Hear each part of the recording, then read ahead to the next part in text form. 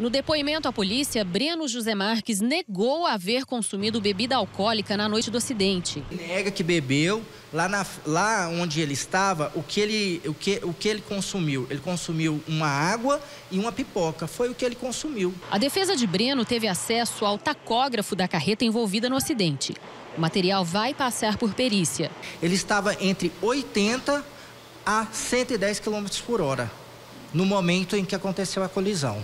Apesar de negar que havia bebido, o exame feito no IML depois do acidente confirmou a embriaguez. Nós nos deslocamos ao Hugo, solicitamos que ele fizesse o exame do etilômetro.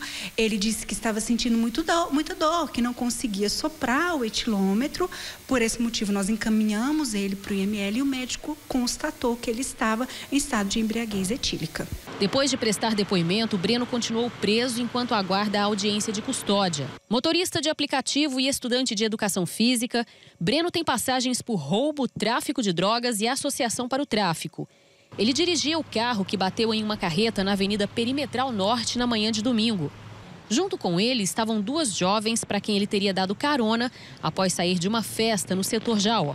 A passageira, que estava no banco de trás, teve ferimentos no pulso e passou por cirurgia. Mariana Alves Marques, de 24 anos, estava no banco da frente e morreu na hora. Ela dava aula de natação para bebês e deixou um filho de 3 anos.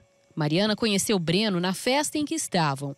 O acidente aconteceu quando Breno levava Mariana e a amiga para casa, no setor Goiânia 2.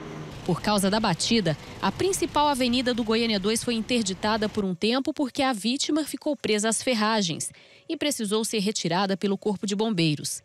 A polícia também deve analisar imagens de circuito de segurança para apurar as causas do acidente. Nós vamos até o local tentar localizar imagens de câmeras de monitoramento que possam ter registrado essa dinâmica.